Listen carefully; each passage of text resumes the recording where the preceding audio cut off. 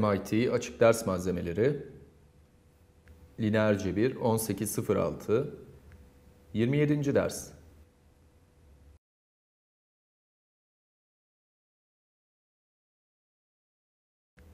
Pekala. Bu önemli dersimiz pozitif tanımlı matrisler üzerine olacak. Bir önceki derste bunlara kısaca bir başlangıç yapmıştım. Vurgulamak istediğim nokta bu bölüm bu dersin tüm konularını, pivotları, determinantları, özdeğerleri burada veriyor. Ve yeni bir şeyle kararsızlık ve sonra bu ifadede yeni bir şey var. x devrik ax aslında bu derste dikkat edilmesi gereken konu bu. Yani konumuz pozitif tanımlı matrisler ve amacım ne? İlk ilk hedef bir matrisin pozitif tanımlı olduğunu nasıl söylerim? Yani pozitif olduğunu görmek için testlerin olmasını isterim. Eğer bana 5'e 5'lik bir matris verirseniz onun pozitif tanımlı olduğunu nasıl söylerim? Daha da önemlisi bunun anlamı ne? Niçin bu kadar çok ilgileniyoruz bu pozitif tanımlılık özelliğiyle? Ve sonra sonunda bazı geometriler gelir. Elipsler. Elipsler pozitif tanımlı şeylerle bağlantılıdır. Hiperboller pozitif tanımlı şeylerle bağlantılı değiller. Yani biz biz burada geometri de var ama genelde doğrusal cebir var. Ve bir minimum olduğunda bunları nasıl tanırız? Bunun uygulaması çok güzel olacak. Tamam. 2 eki ile başlayacağım. Bütün matrisler simetrik olacak değil mi? Bu anlaşıldı mı? Matris simetrik. Benim sorum o pozitif tanımlı mı? Şimdi burada bazıları var. Bunların her biri pozitif tanımlılık için tam bir test olacak. Öz değerleri biliyorsam benim testim onlar pozitif mi? Onların hepsi pozitif mi? Bunları biliyorsam yani A aslında buradaki A sayısına bir E1'e birlik determinant ve buradakilere de 2 ikilik determinant olarak bakıyorum. Böylece bu determinant testi olacak. Bu özdeğer testi şu determinant testi olacak. Determinantlar bütün sona kadar büyüyor mu? Onlara baş alt matrisler diyebilir miyim? Onlar kuzeybatıda ilk olanlar. Seattle alt matrisleri şuradan aşağıya gelen. Onların hepsi yani bütün bu determinantlar pozitif olmalı. Ve sonra başka bir test pivotlar olacak. 1, 2'ye 2 matrisin pivotları kesinlikle A sayısıdır. Ve bu çarpım determinant olduğundan ikinci pivot determinantın A ile bölünmesi olmak zorundadır. Ve sonra burada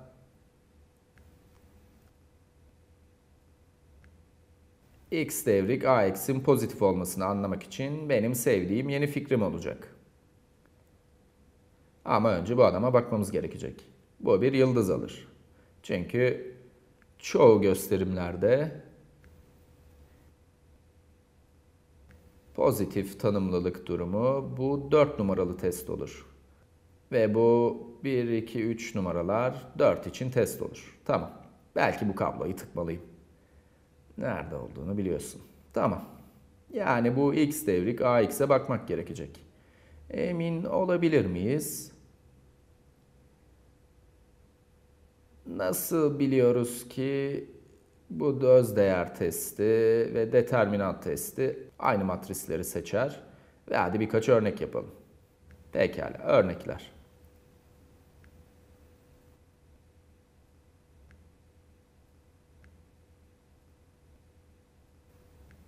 Eki 6 6 matrisimi seçeyim. Bana söyleyin bu matrisin pozitif tanımlı olması için buraya hangi sayıyı koymalıyım? Bana yeteri kadar büyük bir rakam verin ki matris pozitif tanımlı olsun. Hadi 2'ye 2 durumunda bu şartlarla pratik yapalım. Şimdi size bunu sorduğumda öz değerleri bulmak istemezsiniz. Bunun için önce determinant testini kullanmak isteriz. Ya da pivot testi. Bu adam kesinlikle pozitif. Olması gerektiği gibi. Ve bu tamam. Buradaki sayı ne kadar büyük? Bu sayı neden daha büyük olsa iyi olur? 18'den büyük. Değil mi? Çünkü 18 ise hayır. Neden bu daha büyük? 19 değil mi? Eğer burada 19 olursa bu pozitif tanımlı mı? 38 eksi 36 elde ederim. Bu tamamdır. 18 olsaydı buna yakından bakayım. Bu arada 18 olsaydı o zaman pozitif tanımlı mı? Tam değil. Bu adama pozitif derdim. Böylece sadece bunun sınırda olduğunu görmek bile yararlı olur. Bu matris sınırda. Bu matrise pozitif yarı tanımlı diyeceğim.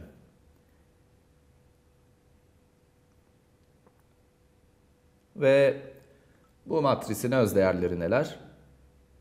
Sadece bize 2 ekinin özdeğerleri verildiğinden o pozitif yarı tanımlı. Ama pozitif tanımlı olmadığından bu özdeğer testimi araya sıkıştırıyorum. Bu matrisim var olduğunu bildiğim özdeğerleri neler? Burada ne tür bir matrisim var? Tekil bir matris. Onun özdeğerlerinden biri sıfırdır. Bunun bir sıfır özdeğeri var. Ve diğer özdeğer izden 20 olur. Tamam. Böylece bu bu matrisin özdeğerleri sıfırdan büyük ya da eşit. Bu yarı tanımlı kelimesini sıfıra eşittir ifadesi getirmiştir. Ve bu matrisin pivotları neler? Yani pivotlar, peki özdeğerler 0 ve 20. Pivotlar, e, bu pivot 2 olur. Ve diğer pivot ne? Başka yok. Burada bir tekil matrisimiz var ve sadece bir pivotu var. Bunun rankı 1 olan matris olduğunu görüyorsunuz. İkinci satır 6, 18, birinci satır olan 2, 6'nın katıdır. Bu matris tekil ve sadece bir pivotu var. Yani pivot testi uygulanamaz.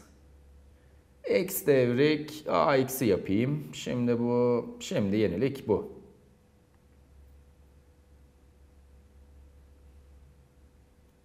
Tamam.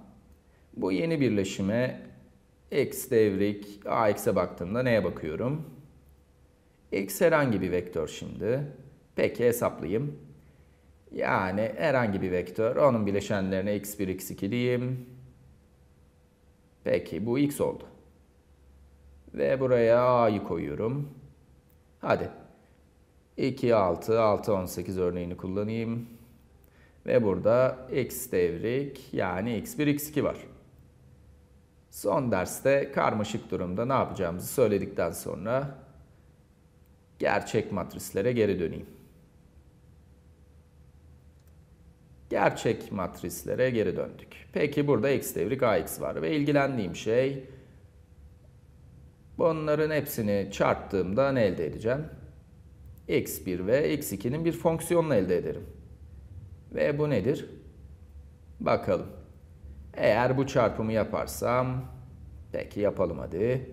Sadece biraz yavaş yapacağım. x1, x2 bu matrisi çarptığımda bu 2x1 ve 6x2 olur. Ve sonraki satır 6x1 ve 18x2 olur. Ve şimdi bu son adımı yapacağım ve neyim var? 2x1'in karesini elde ettim. Bu 2'den gelen 2x1'in karesi var. Bana 18'i veren bu var.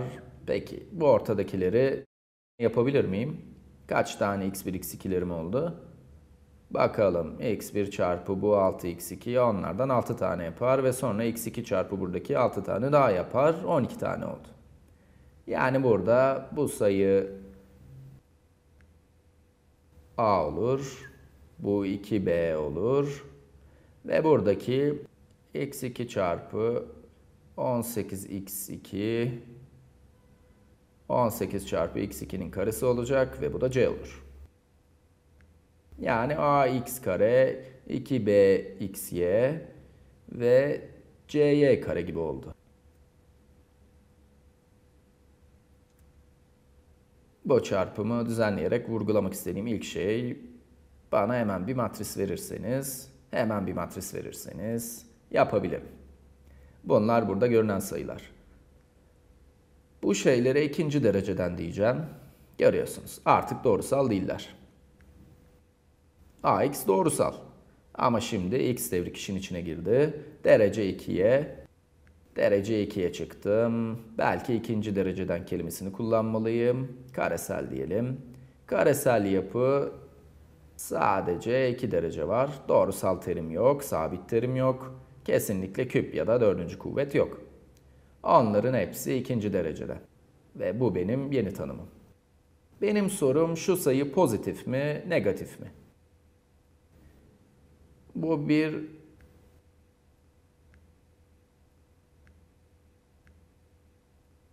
pozitif tanımlı matris için benim tanımım oldu. Şayet bu sayı pozitifse eğer eğer eğer bütün x ve y'ler bütün x1 ve x2'ler için pozitifse o zaman onlara diyeceğim. O zaman bu matris pozitif tanımlı olur. Şimdi bu adam testimizi geçiyor mu? Peki. Elimizdeki burada cevabı önce öz değerlere ve pivotlara sorarak bulmak istedik. Ve ne oldu? Başaramadık. Hemen hemen başarısız olduk. Bu 18'i aşağıya 7'ye çekseydim tamamen başarısız olurdu. Bunu silgiyle yapayım. Ve sonra 18'e geri koyacağım. Çünkü 7 tamamen felaket olurdu. Ama eğer 7 biraz kalsın. Bu şey herhangi bir şekilde pozitif tanımlı olur mu? Hayır, kesinlikle hayır. Onun öz değerlerini bilmiyorum ama onlardan birinin negatif olduğundan eminim. Onun pivotları 2 ve sonraki pivot determinant bölü 2 olacak. Ve determinant, bu şeyin determinantı ne? 14 eksi 36 determinantı eksi 22 olarak elde ettim. Sonraki pivot ne olacak? Pivotlar, bu şeyin pivotları şimdi 2 ve eksi 11 ya da onun gibi bir şey oldu. Onların çarpımı eksi 22 olur. Yani determinant. Bu şey pozitif tanımlı değil. Ne olabilir? Bu adam için x devrik ax'e bakalım. Nedir? Eğer bu çarpımı dışarıdan yaparsam bu 18 geçici olarak 7 oldu. Bu 18 de geçici olarak 7 oldu. Ve bu sayı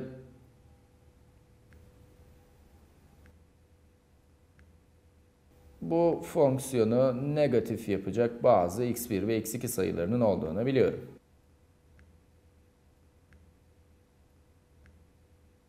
umutsuzca onların ne olduğunu düşünmeye çalışıyorum.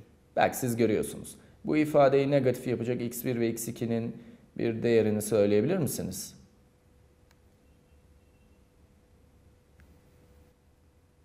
Ha, belki 1 ve eksi 1. Evet, budur. Bu durumda bu çakıştı doğru. Eğer x1'i 1 olarak ve x2'yi eksi 1 olarak alırsam o zaman bu 2 ve 7 eksi 1 kare daima pozitif bir şeyler verir. Ama bu eksi 12 olur ve her şey negatif olur. Elimizde 2 eksi 12 artı 7 var. Bu negatif olur. Bunu çizersem buraya küçük bir resmi çizebilir miyim? Bu şeyin grafiğini çizebilirsem yani fxy ya da fx fonksiyonunun grafiği. Peki bunu fx'ye eşit. Bu x devrik ax. Bu, bu ax kare. 2bxy ve cy kare. Ve buradaki sayılarla bir örnek alalım. Tamam. Peki burada x ekseni var. Burada y ekseni var. Burada yukarı doğru bu fonksiyon. Eğer isterseniz z ya da f var. Özür dilerim. Hayatımda sadece ilk kez burada bunların bu eksenler üzerine bir ok koyacağım. Böylece onları görürsünüz. İşte vektör bu. Görüyorsunuz. x1, x2 yapacağımı onları x ve y'nin bileşenleri yaptım.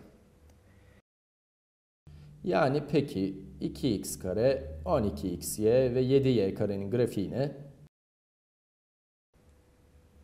görmek istiyorum. Ben en iyi ressam değilim ama bakalım. Bu fonksiyonun bu grafiği bir şeyler söyleyin. Kim bana bunun geçtiği bir nokta söyleyecek? Orijin, değil mi? Bu ressam bile bu şeyin orijinden geçmesini sağlayabilir. O bunların sıfır olduğu yer. Biraz daha fazla nokta. x1 ve y sıfırsa o zaman yukarıya doğru gider. Yani yukarıya bu yine gider. Ve ben yukarıya doğru 2 kere x karenin bu doğrultusuna doğru. Yani bunun anlamı bir parabol olmasıdır. Ve x'in 0 olarak kaldığını ve y'nin arttığını varsayalım. Peki y pozitif de negatif de olabilir. O 7y karedir. Bu fonksiyon yukarı doğru mu gider? x doğrultusunda o yukarı doğru gidiyor. Ve y doğrultusunda o yukarı doğru gidiyor. Ve x eşit y ise 45 derecelik doğrultu elbette yukarı doğrudur. O zaman neyimiz olurdu? Yaklaşık olarak her şey pozitif olurdu ama ne?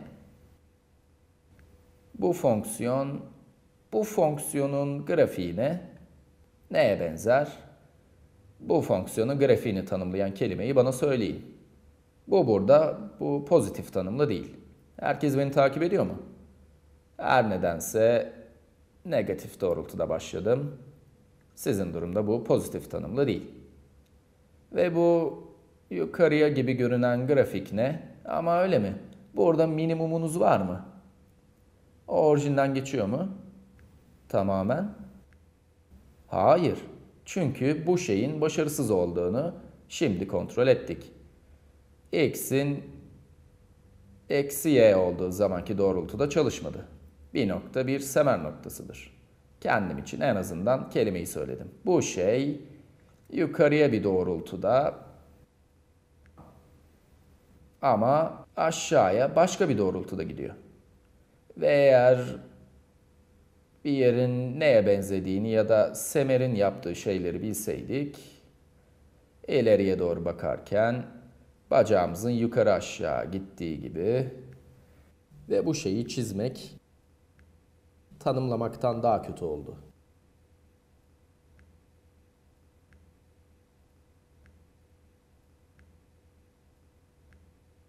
Ben sadece bir yönde yukarıya doğru ve diğer yönde burada semer olduğunu söyleyebilirim. Şimdi üzgünüm onu öndeki tahtaya koydum. Onu örtmenizin bir yolu yok. Ama bu bir semerdi. Tamam. Ve bu bir semer olur. Bir doğrultuda maksimum ve diğer doğrultuda minimum olduğu noktadır. Ve aslında bakmak için en güzel doğrultu öz vektörler doğrultusudur. Bunu göreceğiz. Yani bu bir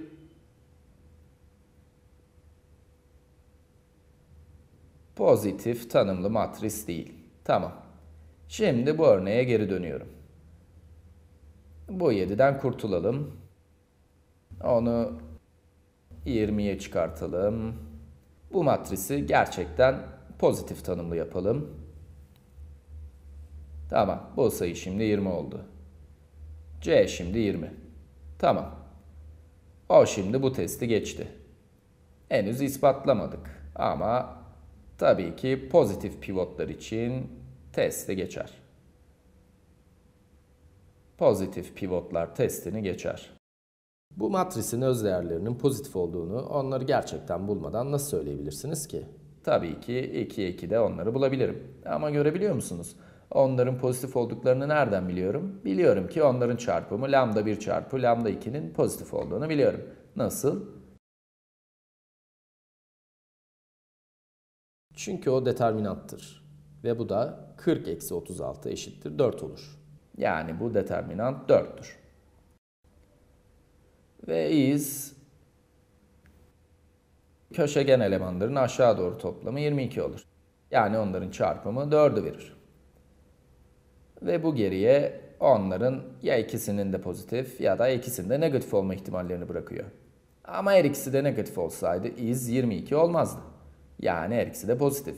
Böylece öz değerlerin her ikisi de pozitif olur. Pivotların her ikisi de pozitif olur. Determinantlar pozitif ve inanıyorum ki bu fonksiyon tabii ki 0, 0 hariç her yerde pozitiftir. Bu şartı yazdığım zaman yani inanıyorum ki x devrik kopyalayalım. x devrik ax tabii ki minimum noktası hariç pozitiftir. Mucize beklemiyorum. Peki onun grafiği neye benzer? Ve nasıl kontrol ederim? Onun gerçekten pozitif olduğunu nasıl kontrol ederim?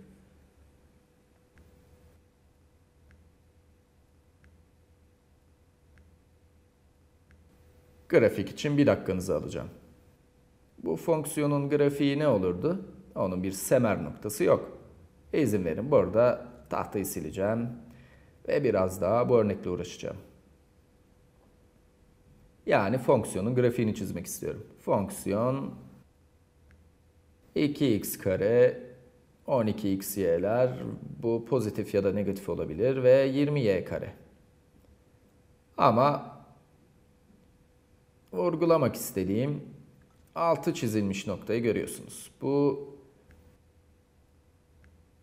bu şeyler bir şekilde tamamen kare olduklarından kareleri pozitif olarak biliyoruz. Pozitif tanımlı olurlar. Bunlar bir çeşit bu adamları kapsadığından bu pozitif ya da negatif olabilir. Çünkü bazıları aynı ya da farklı işaretli olabilir. Bunlar yeteri kadar büyük olduklarından bu adamı kapsarlar ve her şeyi pozitif yaparlar. Ve şimdi grafik neye benzer? X doğrultusunu çizeyim. Bu Y doğrultusu. Ve bu da orijin sıfırda sıfır. Buradayım.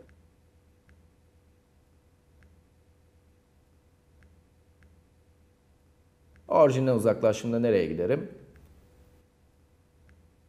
Orijinden uzaklaştığımda nereye giderim? Yukarı doğru gideceğimden eminim. Bu orijin merkez nokta burada minimum olur. Çünkü bu şey inanıyorum ki niçin olduğunu görsek iyi olur. Onun grafiği bir çeşit çanak gibi. Bu grafik çanak şeklinde. Bu burada minimum var.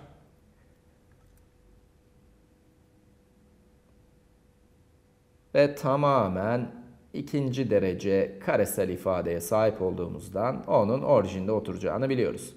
Onun teğet düzlemini biliyoruz. İlk türevleri sıfır olur. Yani ilk türevlerini biliyoruz.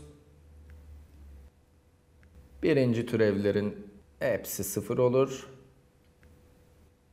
Ama bu minimum için yeterli değil. Onun birinci türevleri burada sıfırdı. Yani kısmi türevler, birinci türevler sıfır olur. Yeniden birinci türevlerin içinde bir x ya da bir y olacağından onlar orijinde sıfır olurlar.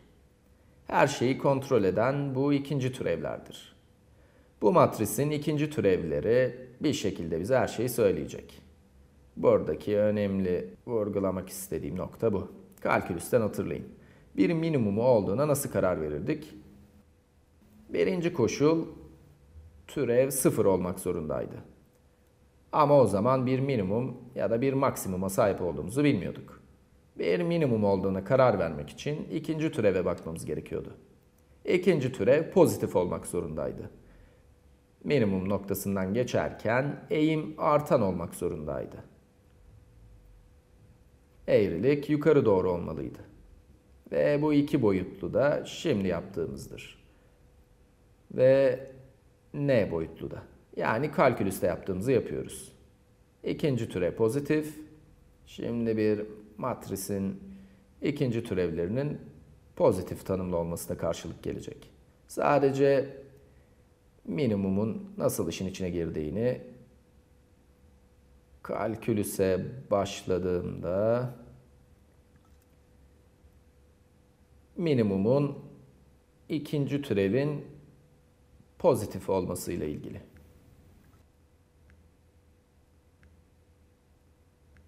Ve birinci türev sıfır elbette. Türev yani birinci türev ama minimumu bize söyleyecek olan ikinci türevdi. Ve şimdi 18.06'da doğrusal cebirde şimdi fonksiyonumuzun bir minimumu var. Fonksiyonumuz sahip olacak. Bizim fonksiyon sadece x'in bir fonksiyonunun değil ama çok değişkenli bir fonksiyon olacak.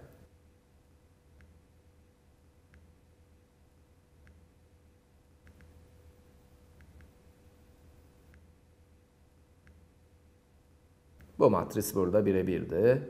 Sadece bir tane ikinci türev vardı. Şimdi çok olacak. Pozitif tanımlı Yani bir sayının pozitifliği bir matrisin pozitif tanımlılığına dönüşüyor.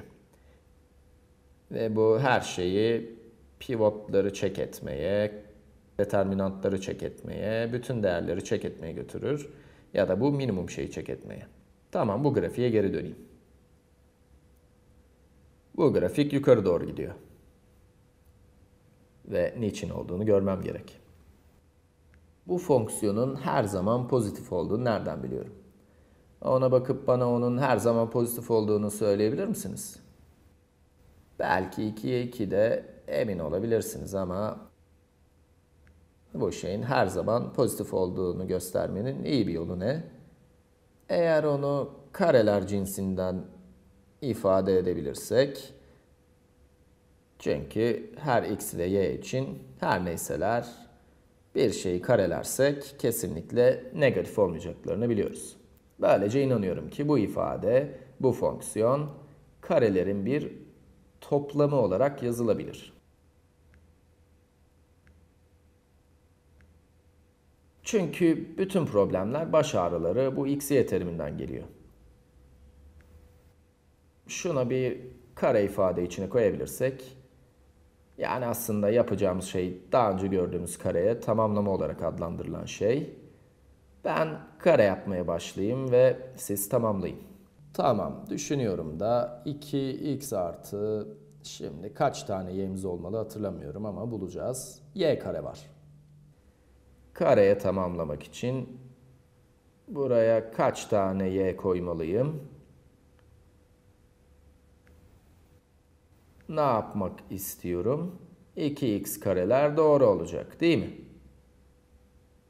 Yapmak istediğim bu 12xy'yi doğru olarak elde etmek için doğru sayıda y'yi bunun içine koymak. Ve y'lerin bu sayısını bakalım çarpan olarak 2 var. Ve böylece aslında buradan 6x'ye gelmesini istiyorum. Düşünüyorum da belki buraya 3 koymalıyım. Size de doğru gözüküyor mu? 2 var. Bu bu çarpımı aklımızdan yapabiliriz. 2x kare oldu. Bu doğru. Bu arada 6xy çarpı 2'den doğru verir. Ve şimdi kaç tane y kareye sahip olduk? Şimdi bu terimden kaç tane y karemiz oldu? 18. 18 anahtar sayıydı hatırladınız mı? Şimdi onu 20 yapmak istiyorum. O zaman 2 taneye daha ihtiyacım var. 2 tane y kare. Bunu kareye tamamlar. Ve Ve o şimdi bu fonksiyonun pozitif olduğunu görebiliyorum. Çünkü onun hepsi kare oldu. Onları topladığımda 2 karem oldu. Negatif olamazlar. Eğer geriye bu 7'ye gidersem ne olur? Bu 20 sayısı yerine 7 olsaydı o zaman ne olurdu? Bu hala doğru olurdu. Hala bu kare olurdu. 2x kare ve bu 12xy'yi elde etmek için ve 18y karem var. Ve sonra burada ne yapmalıyım? 11y kareyi çıkartmam gerekirdi. Eğer burada sadece 7 olsaydı o zaman yerine 20 olduğunda 2 tane daha koymuştum. 18 olduğunda ki o sınırdaki durumda fazladan bir şey koymama gerek yok. 7 olduğunda ki bu sıfırın altındaki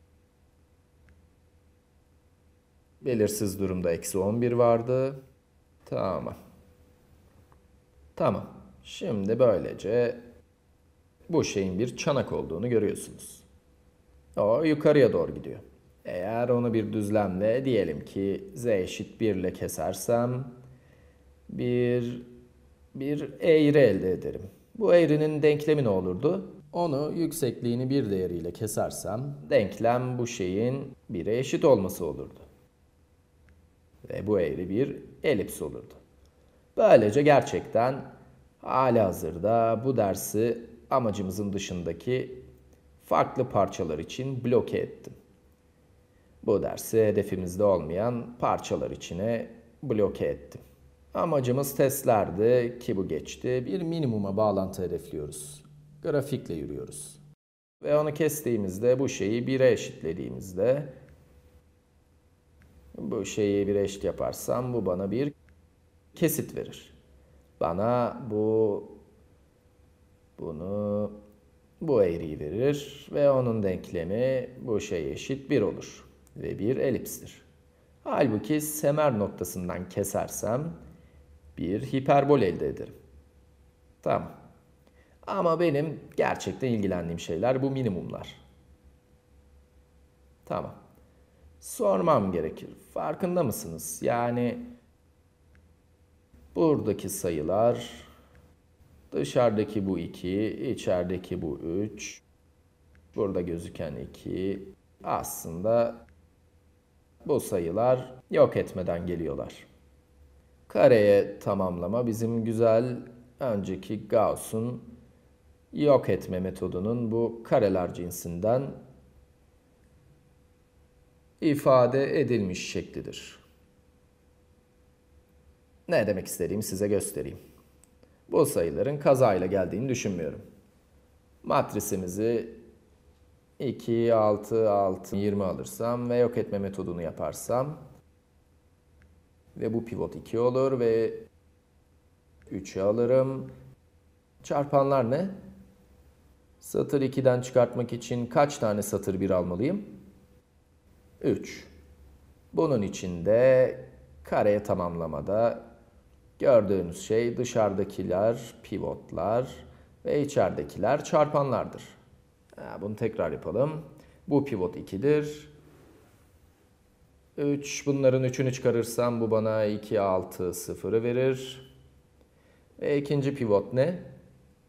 Bunun 3 katını bundan çıkarırsam 3 çarpı 6 18 eder ve ikinci pivot da 2 olur. Yani bu U'dur. Bu da A'dır. Ve tabii ki L 1, 0, 1 ve çarpanı 3'tü. Yani kareye tamamlamak yok etme metoduyla aynı oldu.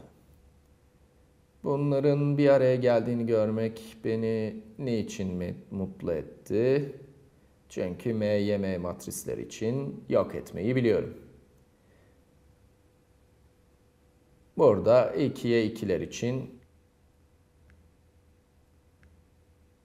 kareye tamamlama üzerine konuşmaya başladım. Ama şimdi burada ne olduğunu görüyorum. Kareye tamamlama gerçekte bu şeyi kareler toplamı olarak parçalara ayırmaktır. O halde kritik titiz düşüncene birçok karem var ve bu karelerin içinde çarpanlar var ama onların karesi alındı. Ve soru şu. Bu karelerin dışındakiler ne? Kareye tamamladığımda dışarıda kalan bu sayılar ne? Onlar pivotlar olur. Onlar pivotlar ve bu yüzden pozitif pivotlar bana karelerin toplamını verir. Pozitif pivotlar, pivotlar karelerin dışına giden sayılardır. Yani pozitif pivotlar karelerin toplamı, her şey pozitif, grafik yukarıya doğru gider ve minimum örneğinde hepsi hepsi birbiriyle bağlantılı. Ve 2 2 durumda bu bağlantıları görebildiniz. Ama doğrusal cebir şimdi 3'e 3 MYM matrislere çıkabilir. Ve gelecek sefer bunu yapalım. 2'ye 2'den ayrılmadan önce şu ifadeyi yazacağım. İkinci türevlerin matrisi, ikinci türevlerin matrisi nedir? Bu bir ikinci türev şimdi. Ama iki boyuttaysam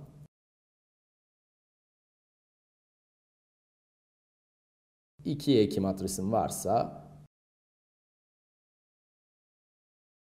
o x'in ikinci türevi olur. x'in ikinci türevi buraya gider.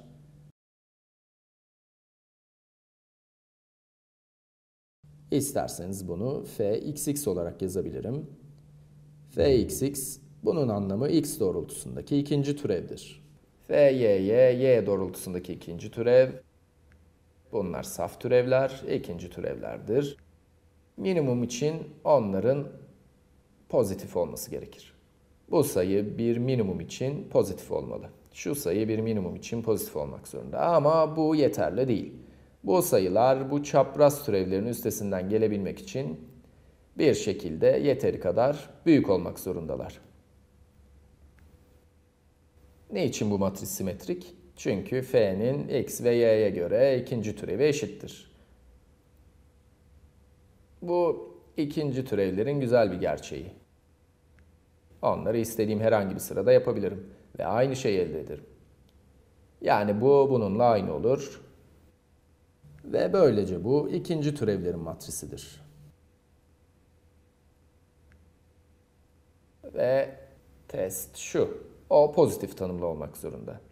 18.02'nin sonuna doğru bir yerlere sıkışmasından ya da en azından kitaptan bir iki değişkenli fonksiyon için bir minimum için koşul olduğunu hatırlıyor olabilirsiniz. Hadi, ne zaman bir minimum var? İki değişkenli bir fonksiyon için İnanın kalkülüs bunun için var. Bu koşul birinci türevlerin sıfır olmaları gerektiğidir. Ve matrisin ikinci türevlerinin pozitif tanımlı olması gerekiyor. Yani belki hatırlarsınız. fxx çarpı fy'nin fxy'nin karesinden büyük olması gerektiğini. Bu sadece bizim 2 2'nin determinantıdır. Ama şimdi M'ye M 3'e 3 için cevabı biliyoruz. Çünkü M'ye M matrislerde yok etme yapabiliyoruz. Karelerin toplamını sadece iki karenin toplamı yerine M kareler toplamını yapabiliriz. Ve böylece alalım. Buraya geçeyim. Ve 3'e 3 bir örnek yapayım. Yani 3'e 3 örnek. Tamam.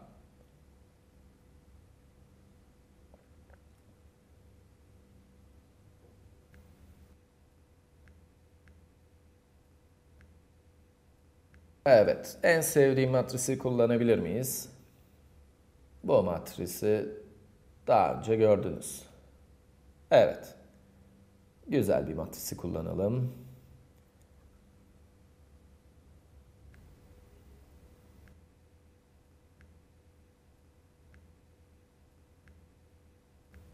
Bu matris pozitif tanımlı mı? Bu, bu matris hakkında sorular soracağım. Öncelikle o pozitif tanımlı? Bu matrisle ilişkili fonksiyon ne? x devrik ax ne? Bu fonksiyonun sıfırda bir minimumu var mı? Ve sonra hatta geometrisini. Tamam. Öncelikle bu matris pozitif tanımlı mı? Şimdi size buradaki sayıları verdim. Yani determinantları alabilirsiniz. Belki de bu en çabuk olandır. Bunu aklınızda yapabilirsiniz. Kısa sınavda size bir matris versem ve pozitif tanımlı mı ya da değil mi desem bu determinantı alabilir ve iki cevabını verirdim. Bu determinantı alır ve bu 2 2 determinant için cevabı verirdim. Cevabım 3 olurdu ve herhangi biriniz 3'e 3 determinant için cevabı hatırlayan var mı? 4'tü. Bu özel matrisler için determinant aldığınızda hatırlayın onlar 2, 3, 4, 5, 6'ya kadar gittiler ve onlar sadece doğrusal olarak yukarıya gittiler. Yani bu matris determinantlar 2, 3 ve 4 olur. Pivotlar. Bu determinant için pivotlar ne? Söyleyeceğim onlar birinci pivot 2'dir. Sonraki pivot 3 bölü 2 olur. Daha sonraki pivot 4 bölü 3 olur. Çünkü pivotların çarpımı bana bu determinantları vermek zorunda. Bu iki pivotun çarpımı bana bu determinantı verir. Bütün pivotların çarpımı bana şu determinantı verir. Öz değerler neler?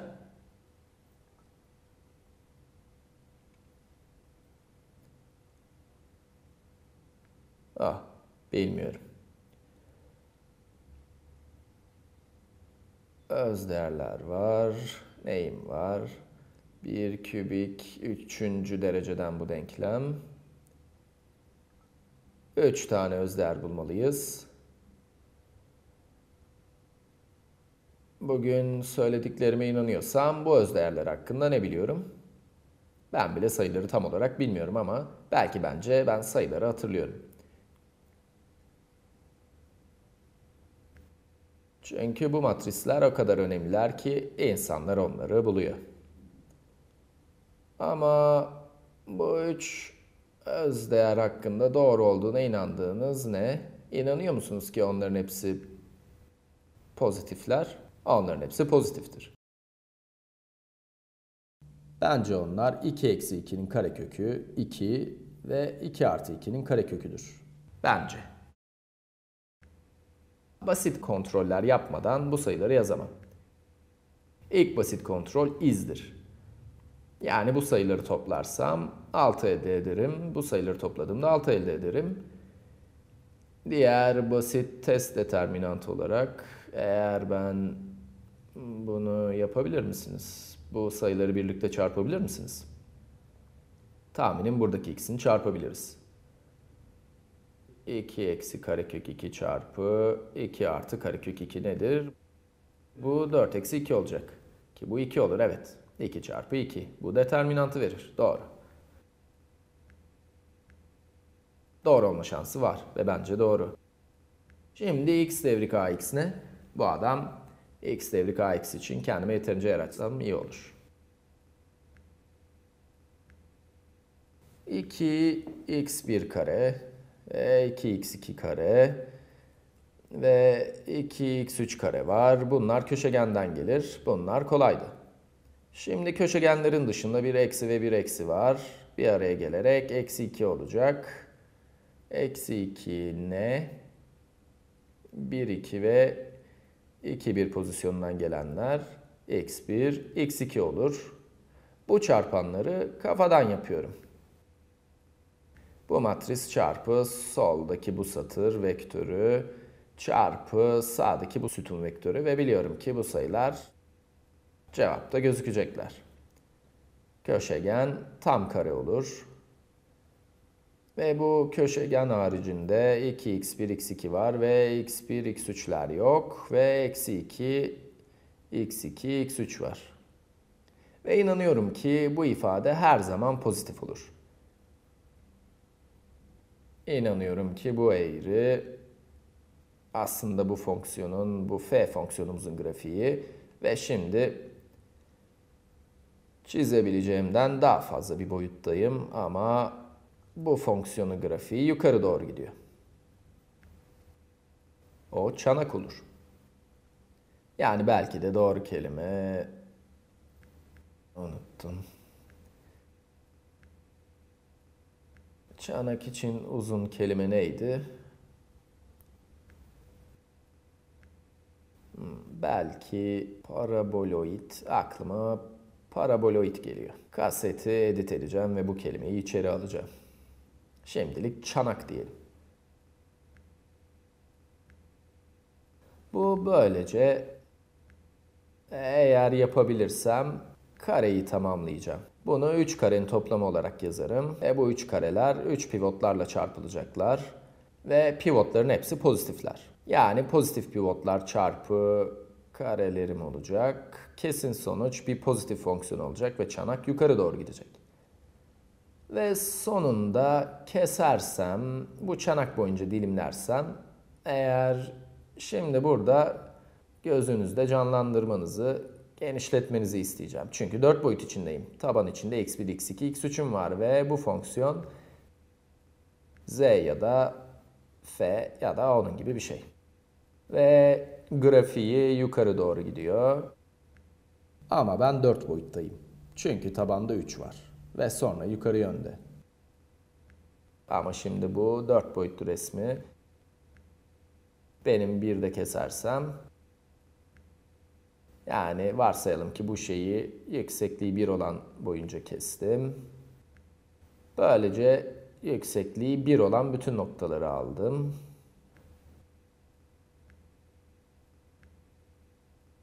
Bu bana bu 2 2 durumunda oradaki elipsi verdi. Bu bir elipsoidin denklemi olacak. Başka bir deyişle Amerikan futbolu topu olur. Güzel. Tam da Amerikan futbol topu değil. Bir dengesiz Amerikan futbol topu ne olabilir? Elipsoidin neye benzeyeceğini size tanımlamaya çalışacağım. Matrisi tam bu noktada sonlandırdığım için üzgünüm. Denklemi gördüğümüzden emin olmak istedim. 2x1 kare, 2x2 kare, 2x3 kare, eksi çapraz parçaların ikisi eşit 1. Bu Amerikan futbol topunun denklemi oldu. Peki bir Amerikan futbol topu ya da elipsoid demekle neyi kastediyorum? Kastettiğim şey birkaçını çizeyim. Bunun gibi bir merkezi var. Ve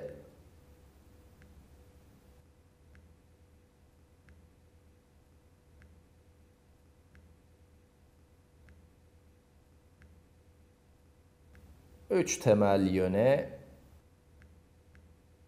doğrultuya sahiptir. Bu elipsoid. Yani söylediğimi anlıyorsunuz. Bir kürem olsaydı o zaman bütün yönler aynı olurdu. Bir gerçek Amerikan futbol topum olsaydı ya da aslında Amerikan topuna yakın bir şeyim olsaydı. Çünkü rugby'nin Amerikan futbol topundan daha çok kavisi var. Doğrultusunun biri uzun ve diğer ikisi eşit olurdu. Bu bir özdeğeri tekrarlanan, katlı bir özdeğere sahip bir matrise sahip olmak gibi bir şey olurdu. Ve sonra bir başka fark, yani bu kare bütün özdeğerleri aynı olan bir birim matristen ortaya çıkar. Bizim rugby topumuz 3 değerimden ikisi aynı olduğu bir durumda ortaya çıkar. Ama 3 öz değerinde farklı olduğu tipik durumda bu durumda nasıl olduğunu biliyoruz. Yani bu bunu nasıl söylerim? Bu elipsoide doğru olarak bakarsam bir ana ekseni olacak. Bir orta ekseni olacak ve bir ikincil minor ekseni olacak. Ve bu üç eksenler vektörler doğrultusunda olacaklar. Ve bu eksenlerin uzunlukları öz değerler tarafından tanımlanmış olacaklar. Ee, bunun hepsini doğrusal cebir içine döndürebilirim. Çünkü öz değerler var ve öz vektörler hakkında bu matris için öz değer ve öz vektörlerle bulduğum doğru şey ne? Ben size bunu söyleyeyim. Doğrusal cebirin temel kuralını hatırlatalım. Bu söylediklerimi cebire nasıl dönüştürebilirim? A'yı Q olarak yazarım. Öz vektörler matrisi çarpı lambda. Öz değer matrisi çarpı Q devrik. Şimdi biz buna esas eksen teoremi diyeceğiz. Öz vektörler ana eksenlerin yönünü belirlerler. Öz değerler bu eksenlerin uzunluğunu gösterir. Aslında uzunluklar ya da yarı uzunlukları ya da 1 bölü özdeğerleri öyle gözüküyor. Ve bu matris çarpanlarını ayırma olur. Şimdiye kadar ki biz özdeğerler materyalleri içindeki en önemli matris çarpanlarını ayırma olur. Bu bir simetrik matrisimizin köşegenleştirilmesi olur. Ters yerine devreğini yazabilirim.